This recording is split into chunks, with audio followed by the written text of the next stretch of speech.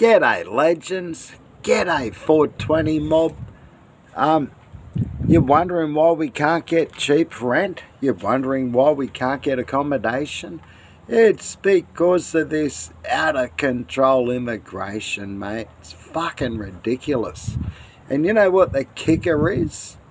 They can't find any skilled labour amongst 1.6 million motherfuckers they bring into this country every year on Boeing Airbus 380s.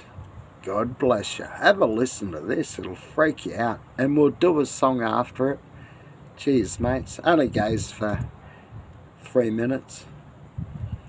But I want to get your thoughts on the book, bigger picture here of immigration because the numbers are just out of control. That's not a phrase I use loosely because I know about the sensitivities of the immigration debate and, and this country's founded on immigration. But we've never seen an influx of this magnitude. And the government a couple of months ago was saying they understood those sensitivities, they were going to tighten things up. But they're doing nothing of the sort. We've got a housing crisis, a cost of living crisis. We can't generate enough enough power to keep ourselves uh, with the lights on, yet we still see immigration essentially out of control.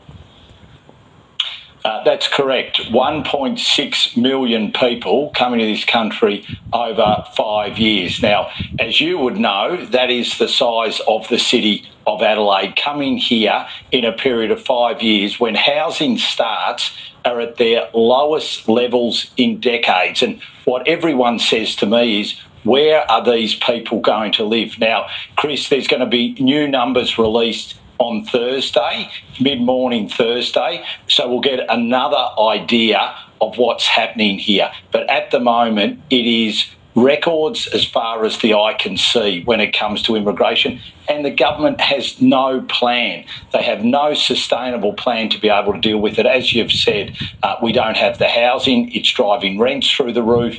Uh, they're not, the infrastructure spending's been cut, so we're not putting in the roads, highways, and trains that we need. People can't get in to see a doctor.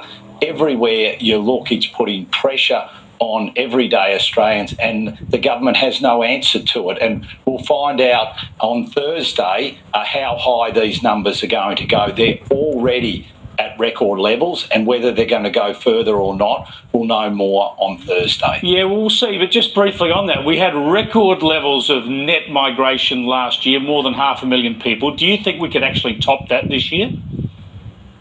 It's possible. There's there's no doubt that it's possible, and it's highly likely it could be around that number again. So the government hasn't been able to put the policies in place to make it sustainable. And the really really strange thing, and it shows you the big, big mess they've made when it comes to immigration is that business is still crying out for workers, for skilled workers. Yeah. So especially in regional and rural Australia, they're still saying we need workers, we need skills. So they're bringing in these yeah, record the numbers of people. That, and the yeah, wrong people. Unbelievable it is it, it's a mess. So you've got this detainee detention mess, which is the mind mind boggles about how incompetent the handling of that has been. And now you've got this other complete mess where we've got record numbers of people coming in, yet we've still got skill shortages in key businesses. You, you couldn't make this stuff up, and you couldn't you make know, it up. There's now conti- and the immigration yeah, minister is still in his job, which is just uh, extraordinary. Dan Tehan, we're out of time. Thanks so much for joining us it is a shambles, isn't it? When we've got too much immigration for the economy to sustain, yet we don't have the skills. We're not bringing in the right people with the right skills for the job, sh- uh, the skill shortages in this country. Bloody ridiculous, isn't it? Fucking, we're getting millions of motherfuckers in here, and we're paying them too much money. Half these cunts are on a dollar a fucking day. Now they're getting fucking more than that. Crikey. Oh, let's roll the tune, shall we? Let's roll.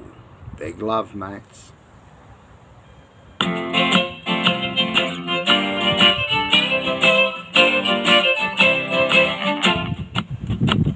I've been around the world a couple of times and maybe more.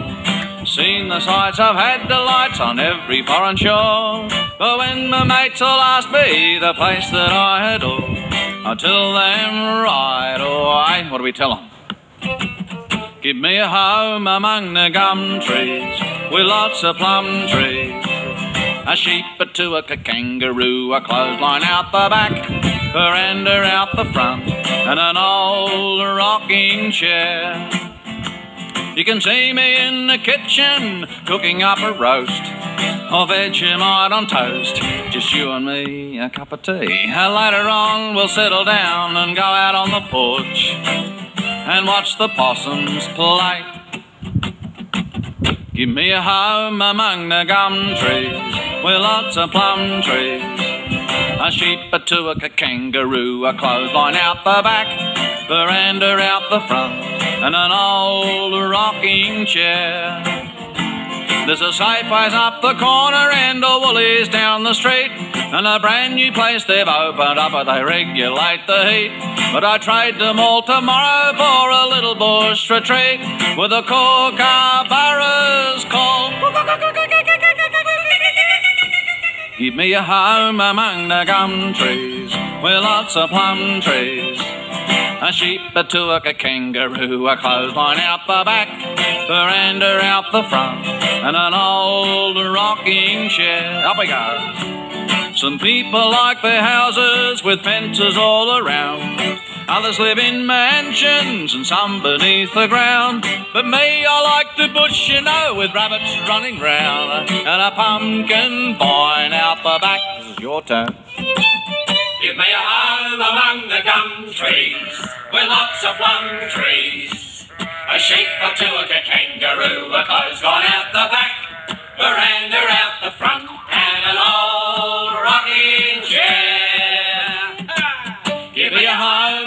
the gum trees, with lots of plum trees. A sheep, a tuak, a kangaroo, a clothesline out the back, veranda out the front, and an old rocking chair.